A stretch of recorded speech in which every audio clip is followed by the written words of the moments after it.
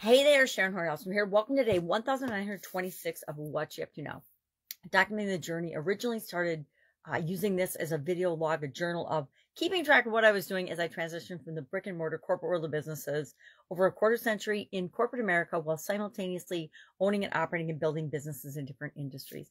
And then following my divorce and you know separating out all the assets and all the craziness that happens with the divorce, I found myself old enough to retire, but I didn't really want to retire yet. And so I was looking for something different and new to do. And I decided I'd always been curious about the online world. The internet happened while I was working in corporate America and, and building businesses. Yet I was busy doing offline things and not, I wasn't really doing anything online. I dabbled here and there. I had some social media, but nothing that I ever was really using for business. So in 2017, uh, when I had the opportunity following my divorce to do something different, I thought, I'm going to go in the online world. I'm going to figure it out. I'm going to do some stuff and then I'm going to share what I learned, hopefully, and share some of the lessons I learned. And that led me down a lot of different paths, a lot of different roads. You know, there's so many different things you can try and do on the internet.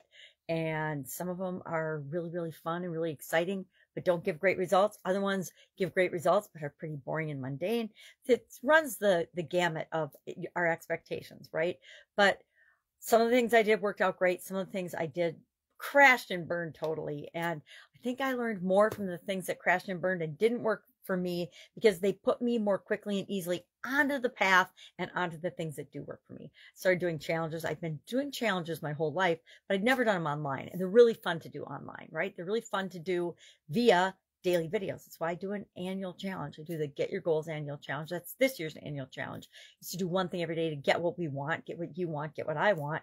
And I'm breaking that down using a life framework that I've used for I've used a seven part life framework for yeah, since the 80s, since the 1980s. I know, really, really long time.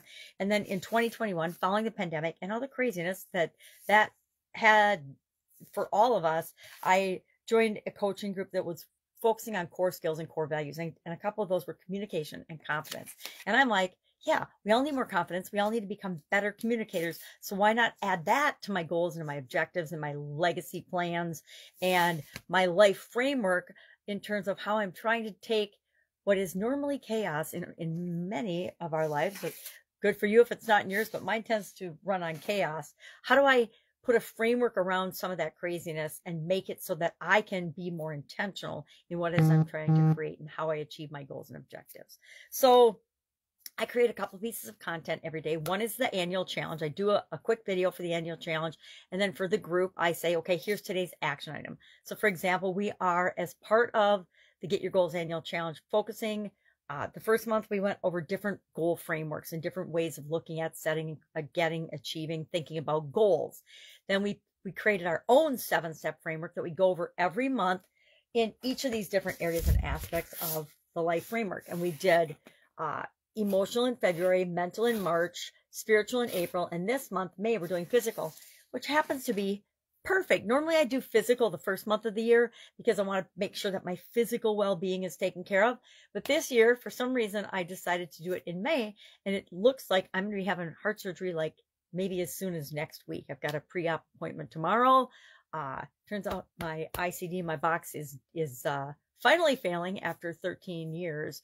Uh, it was supposed to last nine and it's going on 13. So I feel pretty good about that. And I'm okay about getting it replaced, but it's, it, uh, is going to happen sooner than I thought. I didn't think it'd happen maybe even not this year, but August or September at the very soonest. And here it is May. It's going to happen in May. So to me, it's kind of perfect. It coincides with this month's area of focus, physical well-being, physical health. And I guess since I'm having a physical pre-op uh, physical tomorrow, I will know a little bit more about what I do and do not mm-hmm. need to do and what I need to focus on as part of my personal physical well-being and goals, which is what this challenge is all about. What do we need to do to move our life in the direction we want to go? Doesn't matter what anybody else says. It matters what we do and what's important for us.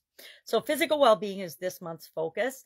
And our topic today was thoughts and beliefs around our physical nature around us as physical beings here on the planet and the goals that we will set for ourselves. It, and, you know, it falls into different categories, self-efficacy, our mindset, our, um, our, uh, what am I thinking? Self-talk, the, you know, the, the conversation that's going on in our head.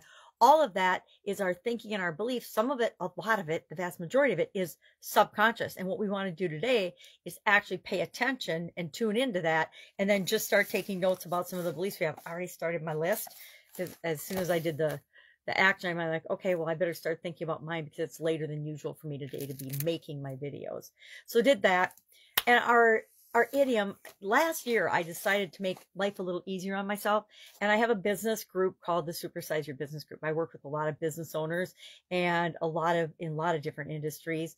And we have mastermind groups we have a coaching program we have all kinds of stuff. But we have a group, a free Facebook group where I share an idiom a day. What does it mean? Where does it come from? And how might you use it to grow and build and supersize your business, whatever your business is. So it's pretty general information and mindset and thinking and common sense or whatever. But I decided last year, since I was doing an annual challenge, I was going to think about and select an idiom that went along with that topic. So today's that goes along sort of with the topic is you are what you eat.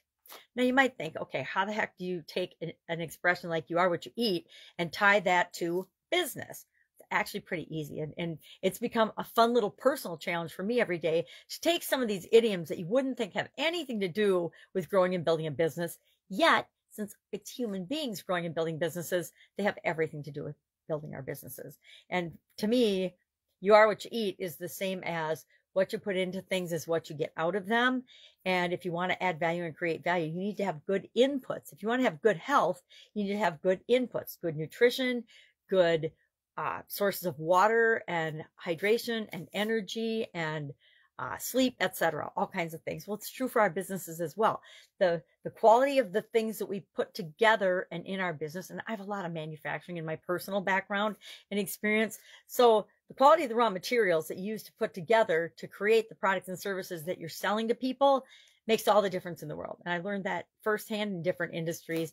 I uh, remember ordering parts from China for an Italian food manufacturing business. And they met all the specs, but guess what? They didn't work. They didn't work in our equipment because although they met the specs, they they really weren't fit for use with our equipment.